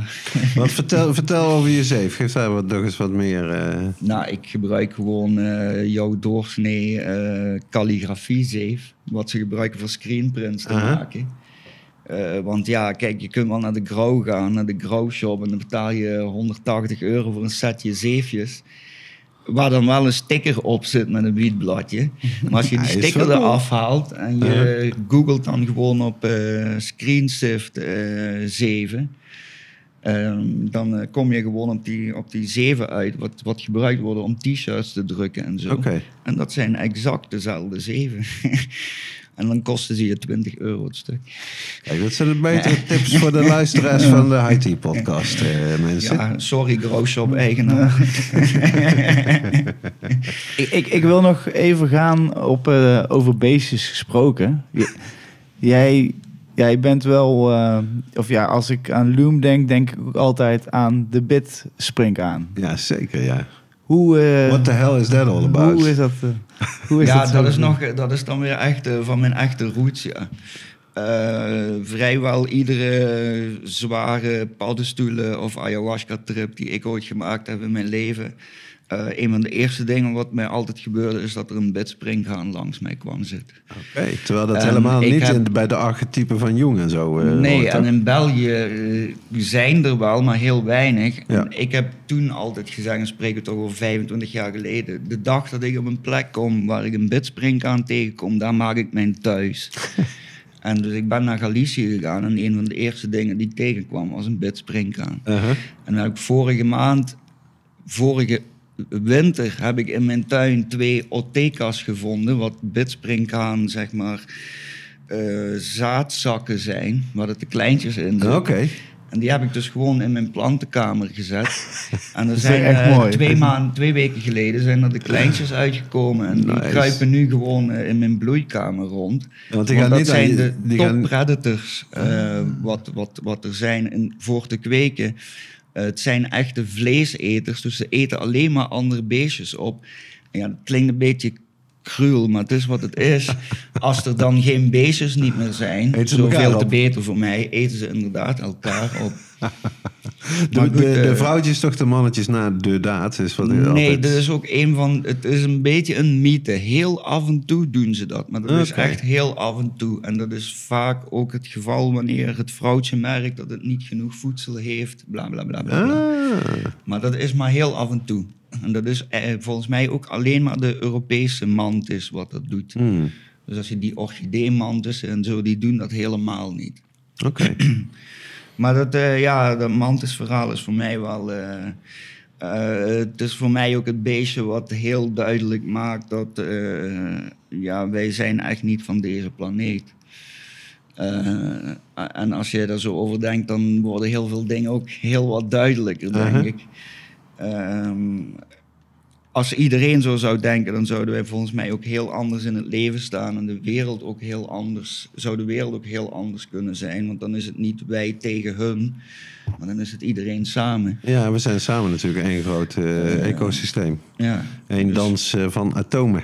Maar goed, als je een, een bidspringkaan van dichtbij observeert eh, en je bent er dan nog niet van overtuigd dat wij in een magische wereld leven. Ja, ze zijn wel Ja, prachtige dan beestjes. weet ik niet wat je nog moet gebeuren. eh, Maar Uh-huh. dat, dat zijn voor mij echt de beestjes die mij altijd weer terug, om het dan zo te zeggen, mijn twee voeten op de aarde zetten. Aha.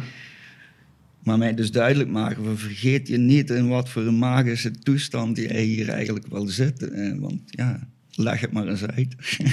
Ja, precies. Spannenbis. Ja.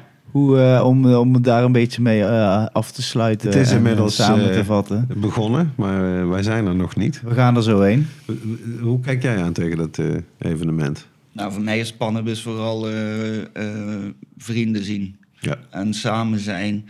Eh, de beurs, na zoveel jaren naar de beurs komen, is het, ja, het is ook wel leuk om te doen, maar het is voor mij een beetje toch een beetje te zeer een gekkenhuis. Eh ik snap dat dat voor jonge mensen dat dat echt wauw en super is. Eh, maar ja, voor mij is Spannenbus eh, is eigenlijk niet meer de beurs, maar is echt het samen zijn er rondomheen. En dat is echt super. Eh, het is voor mij letterlijk het weekend waar ik het hele jaar ook naar uitkijk. Omdat het ook, ja, eh, eh, het is ook een van de weinige weekenden waarop ik mijn plantjes alleen laat. Dat zegt genoeg. Dat dus zegt ja, genoeg. eh, maar het is echt het samen zijn. Het samen zijn. En het is ook, heel de wereld komt letterlijk naar Echt, hier. Dus dat is Ja. wel, dat is wel heel leuk. Ik werk ook met zaadjes, bijvoorbeeld dan gelijk nu die Cherry Cosmos van Exotic Genetics. En dan is het wel leuk dat je die mensen ook echt letterlijk hier kunt zien. Wat buiten de beurs spannend is, wat in, in Europa, zij komen nergens anders naartoe. Ja, ja. Voor zover ik weet is dat echt alleen Barcelona spannend is, dat dat zo fel is, dat die hele wereld samenkomt. Nou, ik vind het wel heel leuk. Maar ook hier is dan voor mij dan toch wel een beetje ook weer dat dubbele gevoel van kijk, wat zie je nu weer allemaal rondom die plant. En, kijk, als we dadelijk binnenlopen, dan ja, ligt bijvoorbeeld al, alles ligt al vol met flyers en dat soort toestanden. precies, ja. En Ja. dat vind ik dan zelf weer van, ja, kunnen we ons dan niet...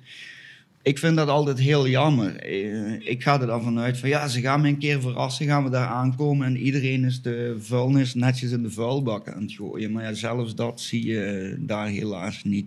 Klopt, dus het is heel, heel veel consumisme aan het worden. Ja, ja, ja, ja. En ja, dat moet er ook zijn, nogmaals. Ja. Maar goed, voor mij eh, dan is het toch meer het samen zijn dan echt het commerciële gebeuren, zeg maar. Ehm, kijk, wat sowieso voor de, voor de kwekers heel leuk is, is het, het zadenverhaal. ja. Eh, er worden best heel veel zaadjes aangeboden die buitenspannenbus soms helemaal niet te verkrijgen zijn. Of ja, dan zeker de dag van vandaag. eh, om dat soort dingen allemaal maar online te bestellen is soms ook niet van de slimste. En dan is het leuk dat je die dingen gewoon letterlijk hier kunt kopen. Bij de producent echt ook. Ja. Ja. Dus ja, nee, maar samen zijn. Spannend dus. Ja, goed om te horen. Goed om te horen. Wij ook. Ehm, dan eh, schakel ik, eh, want uiteraard, eh, het is een speciale af- aflevering, maar we, we, we, we hebben hem toch in het midden. Dus eh, we willen graag ook iets daarover horen. Het Haiti Podcast. Kweekhoekje. Ja, want jij, zoals je al zei, bent begonnen met eh, één tentje, zeg maar. Als je eh, mensen die nog niet zo lang bezig zijn of zelfs nog moeten zouden gaan beginnen, eh, wat- zijn jouw adviezen? Waar gaat het vaak mis? Wat, eh, wat hoef je niet te doen bijvoorbeeld? Dat soort dingen. Eh, beginnen bij het begin, genetica, genetica, genetica, genetica. Ja. Ehm, Dus begin ook met zaad, is eigenlijk dan Ik ben wat dat betreft daar heel, heel sterk van overtuigd. 95% van het werk van een goede kweker is het uitselecteren van zijn genetica. Waarmee ik bedoel dat jij als goede kweker gaat uiteindelijk 5% verschil kunnen maken in het eindproduct. Dus die wiet gaat of 5% minder goed of 5% beter kunnen zijn.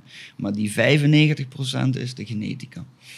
En ik snap dat dat moeilijk is, want eh, jouw eigen moeder zoeken houdt eigenlijk in dat je daar plaats voor moet hebben. En dat heeft niet iedereen. Maar toch, genetica, zoek je eigen moederplant.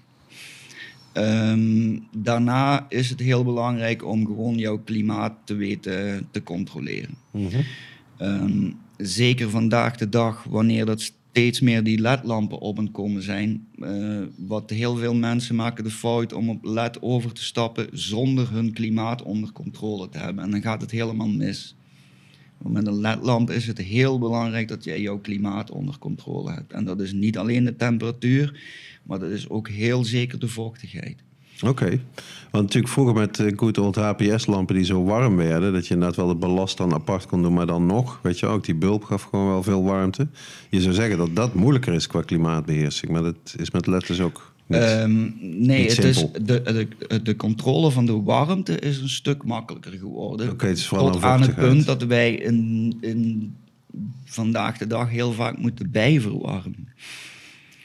Dus dat is wel heel anders geworden. Ja, Vroeger was de, de controle van de warmte was een heel ander verhaal. was veel moeilijker met de HPS. Ehm, maar dat neemt niet weg dat... eh, dus daar worden heel veel dingen over gezegd. De ledlampen warmen de planten op een hele andere manier op. Dus het is ook heel belangrijk dat jij zo'n laserthermometertje haalt en dat je jouw bladtemperatuur meet. En dan ga jij zien dat jouw bladtemperatuur onder HPS-lampen heel anders zich weerspiegelt ten opzichte van de temperatuur van de kamer dan onder LED. Ehm, daar moet je gewoon rekening mee houden. Ook is het zo dat onder LED-lampen de planten best eh, anders gaan drinken. Dus dat moet je ook weer helemaal opnieuw ontdekken. En het is gewoon dat ze heel anders groeien ook. Ze blijven over het algemeen een stuk korter.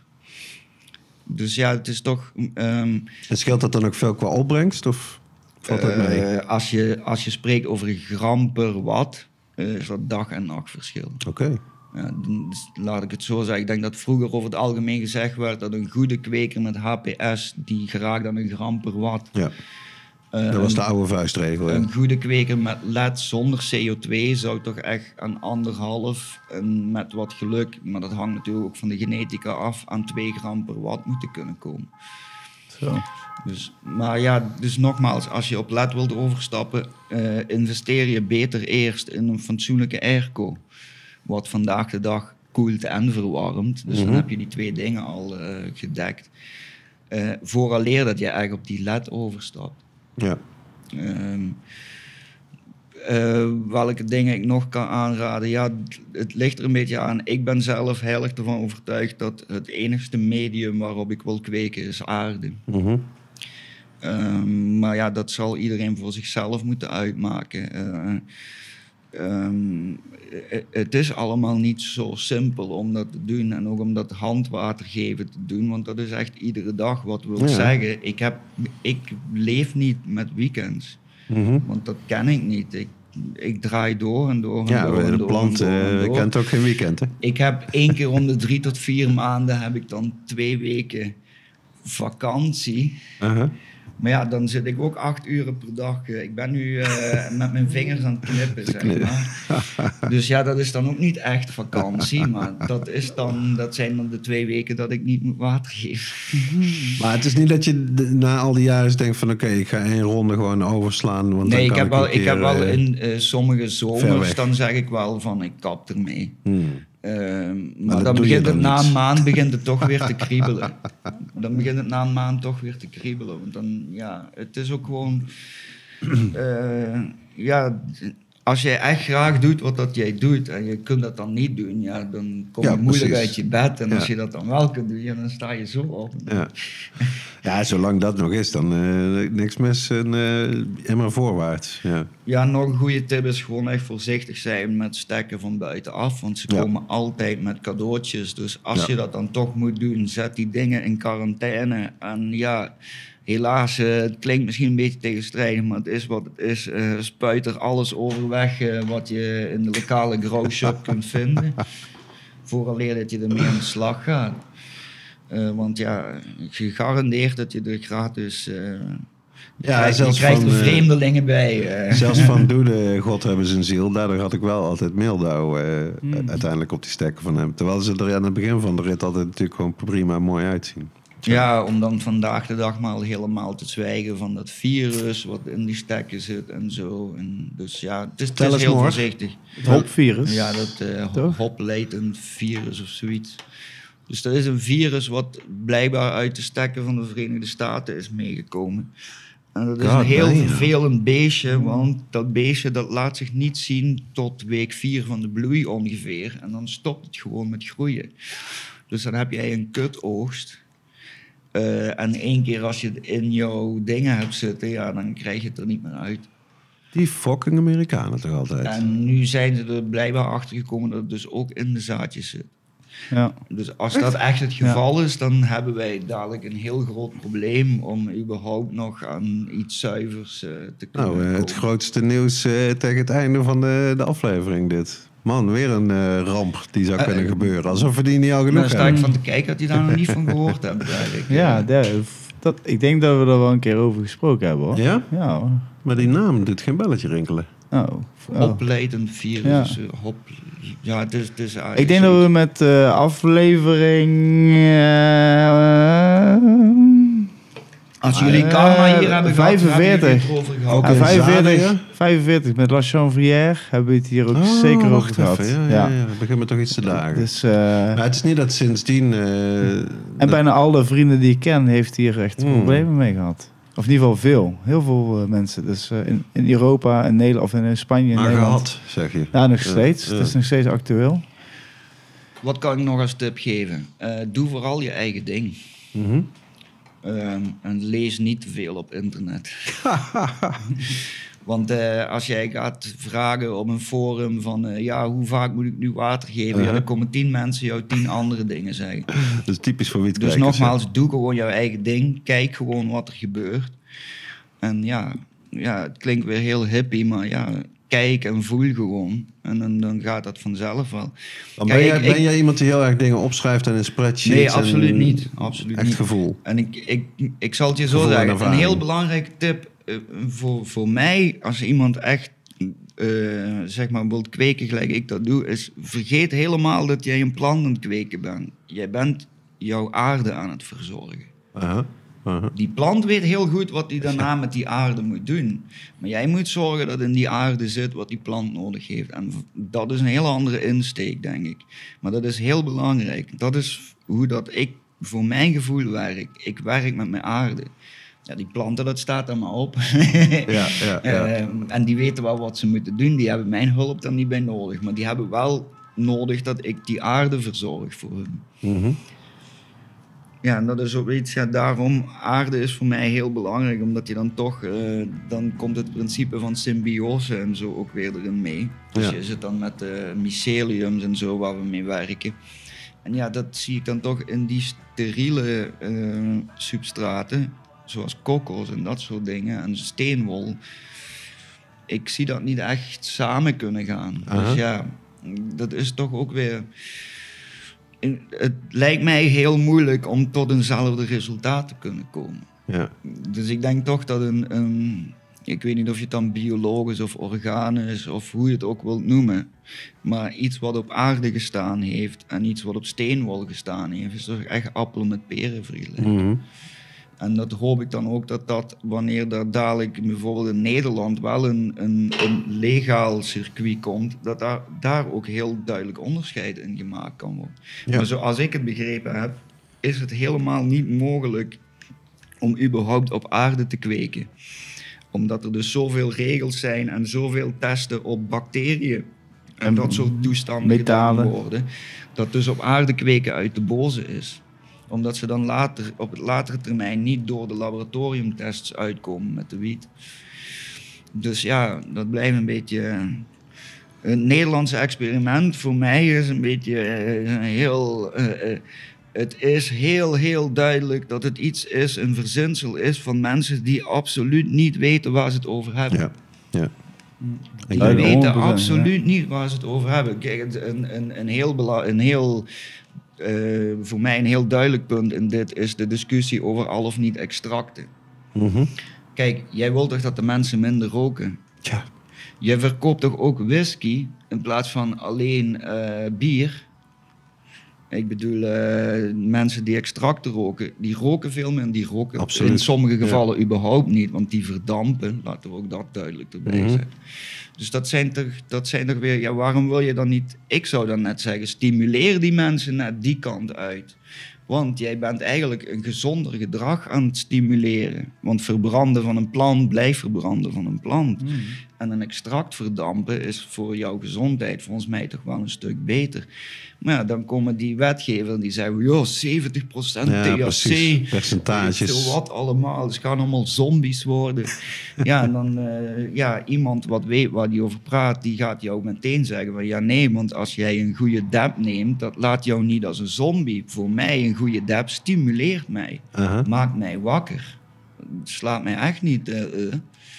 Ja, dus ja, eh, heel duidelijk eh, wetgeving opgesteld door mensen die absoluut niet weten waar ze het over hebben. Ja, dat is duidelijk, ja. Helaas pindakaas. Ja. Ja, Dus jij ziet het met leden ogen aan.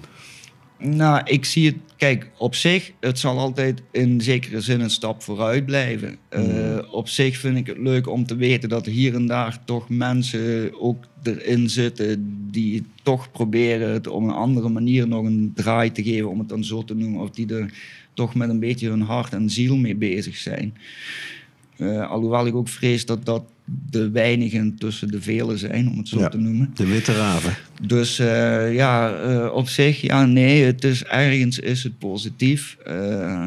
En, langs de andere kant is het voor mij ook weer meer van hetzelfde. Rond de pot draaien en het slaat allemaal nergens op. En had- ingewikkelder Het had maken. zo gemakkelijk kunnen zijn. Ja. Ieder dorp zijn zot op de berg. En eh, ieder dorp heeft zijn speciale wietje en zijn speciale dingetje. En iedereen gelukkig. Ja, ik, zie, ik vind het een mooi eh, toekomstbeeld. En eh, een mooi dingetje ook mee af te sluiten, denk ik. Absoluut. We gaan lekker eh, de beurs op. Om nog een dingetje mee af te sluiten, helemaal. Wat vond je van de London Breakfast? Ja, ik vind het toch een, eh, wel een heel erg fijn wietje. Een beetje dat crèmige. Een soort die crème. Ik weet niet welke turps dat zijn. En eh, ja, hij had iets minder scherp mogen zijn. Ik weet niet wa- waarom dat precies in zit. Maar eh, qua jureren zou ik hem toch eh, voor de High Life Cup op 7,5 eh gejureerd hebben. Deze London Breakfast. Kijk eens aan. Loem, hartstikke bedankt eh, voor je tijd. Voor deze interessante eh, interview. Graag En gedaan. al jouw eh, wijsheid en eh, goede tips, geldbesparende adviezen en eh, goede analyses. denk ik Leven- ook. Screencijfers. Eh, le- Ja. Levenslessen, zeker Levenslessen erbij. Helemaal top, dankjewel. Nou, Ja, graag gedaan. Geniet van het weekend. En, Dat zal eh, zeker lukken. Iedereen bedankt voor het luisteren. Inderdaad. Jij, Dirk, jij bedankt voor eh, je wijze, wijze interview skills weer. En dan gaan we naar de beurs en gaan we morgen alweer een, eh, een nieuwe episode Ja, en- opnemen. maar die hoort u over een, aantal, over een weekje ongeveer, denk ik. Voor de luisteraars. Eh, hou de website in de gaten en eh, onze socials. Oké. Lieve mensen, we zien elkaar snel. Howdy. Howdy.